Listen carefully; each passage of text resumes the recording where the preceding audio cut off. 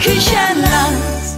Bevor wir nun gleich in die Endrunde gehen, noch ein paar Informationen über Patrick Jans. Wann beginnt denn so ein Drehtag für dich? Weil du Das ist ganz musst. unterschiedlich. Also, wenn es mal gut kommt, fange ich wie morgen zum Beispiel um 12 an. Oder halt manchmal auch schon um 8 Uhr vor der Kamera stehen. Das heißt, ich werde um 7, halb 7 Ja. geholt, dann Kostüm als erstes, danach in die Maske und dann geht's auch gleich los. Okay. Käffchen noch und dann, Maske. ja, ganz wichtig. Und, und wie lange seid ihr da so immer so am Drehen? Wie lange geht's in der Regel? In der Regel geht's so von 8, 9 Uhr bis ungefähr 18 Uhr, 19 Uhr in etwa. Ja, dann Und- hast du auch einen langen Tag, oder? Wenn du den ganzen Tag dran bist, ja, dann ist es schon ziemlich heftig manchmal. Aber ich habe das Glück, ich bin jetzt nicht so oft dran. Aber Frank, mich würde äh, Patrick, mich würde interessieren, ihr müsst ja auch was essen. Habt ihr da ein Catering oder so irgendwas? Richtig, wir haben komplett den ganzen Tag über Catering. Ja. Also auch beim Außendreh, da haben wir Aha. einen Cateringwagen dabei. Aha. Und, Und was ist da angesagt? unterschiedlich. Also es gibt äh, relativ oft irgendwie Nudeln. Aha. Dann gibt es Fleisch natürlich, also Hähnchen ab und an mal dazu. Und Ja. Auch für Vegetarier mal so extra was. Ach was, habt ihr auch Vegetarier Ja, ja, dabei? genau. Es gibt auch ein, Gut ausgewogen sozusagen. Genau. Ne? Und immer Salat ist vorrätig und äh. Brot und Nutella und sowas. Sehr gut. Schön. Gut, ich hab's hier. Passt das? Jawohl, das ist Aber prima. jetzt die Serie, eine für alle, das ist eigentlich für dich so die erste größere Rolle. Serientechnisch ist es eine Ja. große Genau, Rolle, genau. genau. Genau, Die die zweite große Rolle ist hier jetzt. Die ist hier jetzt hier, genau. Ja, natürlich. Und was hast du so davor schon mal gemacht? Ähm, Was sind so deine das erste größere war so ein Independent-Film, Mhm. der heißt Schlimmer geht's nimmer. Wurde in Österreich gedreht, in der Steiermark, Mhm. da wo dieses Kürbiskernöl herkommt.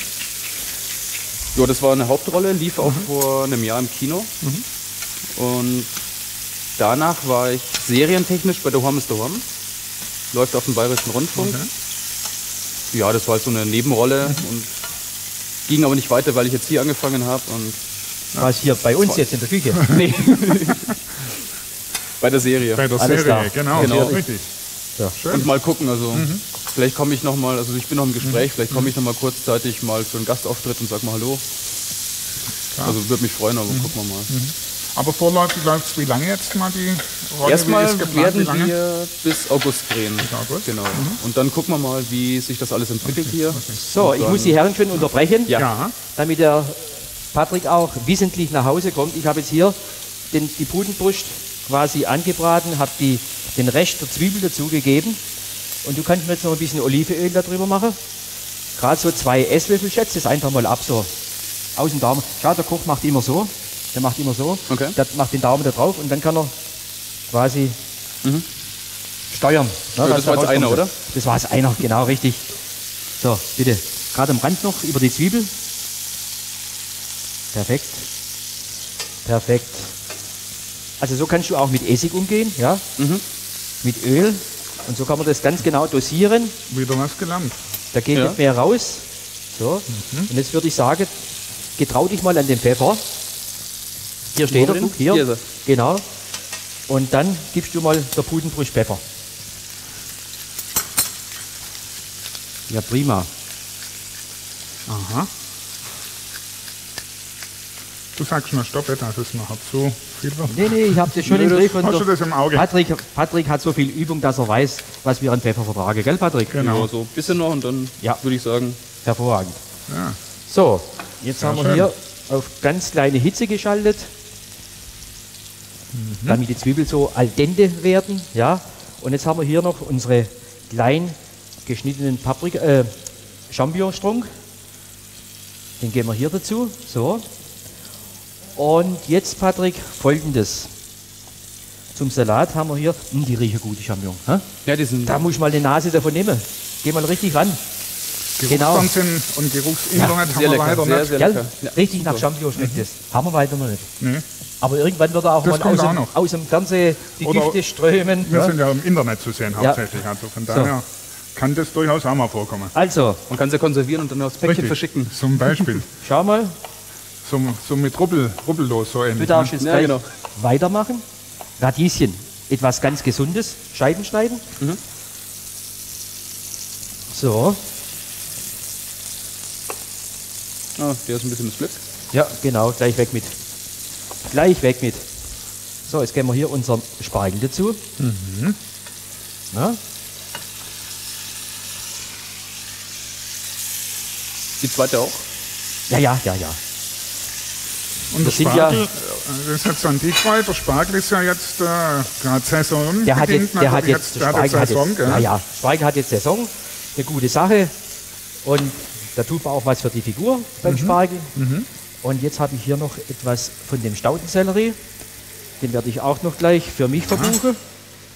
Sieht So. sehr lecker aus. Und, und schon wieder. Äh, äh, nascht nebenbei noch. Das ist das Schlimmste am Kochen, man nascht Ja, immer. ja, ja, das ist ja auch gut Aber so. äh, gesundes Naschen. Man muss, ja, man muss ja wissen, man muss ja wissen, was man in die Pfanne gibt Ja. ne? und was man anbietet. So, Das läuft bei dir da wie geschmiert. das läuft wie geschmiert. Wenn sonst alles noch so laufen wird, Ja. schütteln wir das mal etwas durcheinander. So, prima. So, das hat jetzt die richtige Temperatur. Der Zitrus schmeckt er, gell? Ja, super. Ja, ja. Kann da auch sagen, was es ist. das ist Apfelsaft, ein Schluck Sekt und etwas Sprudel. Salut. So einfach. Bloß bisschen weh. Man braucht ja in der Küche belebende Elemente. Ne? Und da gehört natürlich so ein Cidre auch dazu. So, jetzt lass mal schauen, was du hier fabrizierst. Ah ja. Also, man könnte jetzt noch hergehen und könnte hier ein gekochtes Ei reingeben. Ja, das heißt, kochtes Ei in kleine Würfel geschnitten. Wäre natürlich farblich optimal. Kannst du zu Hause machen. Ne? So, ich hole jetzt mal einen Löffel und dann darfst du verkosten.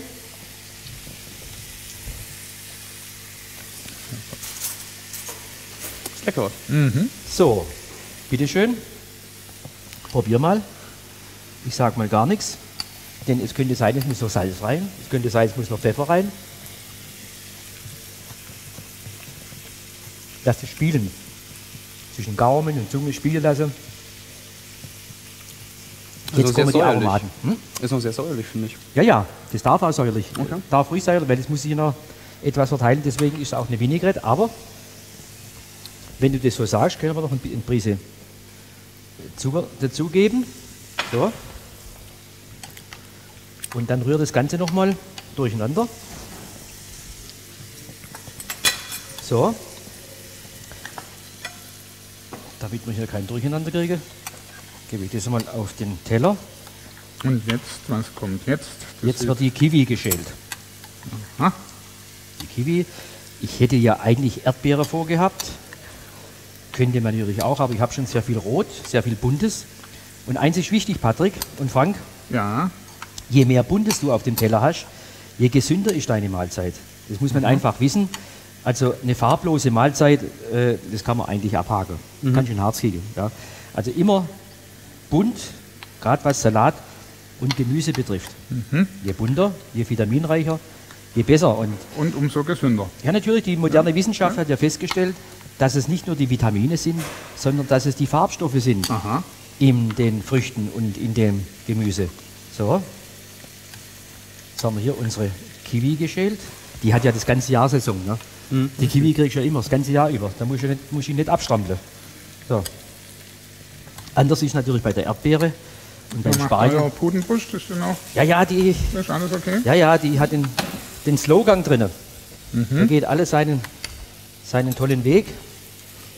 So, Patrick, du, äh, Frank, komm her. Du kannst Ja. ruhig mal die Zwiebel umdrehen. Die kann man mal umdrehen. Ja, versuch dich doch einmal. So, Kann ich mir auch ein bisschen nützlich machen. nützlich, ja.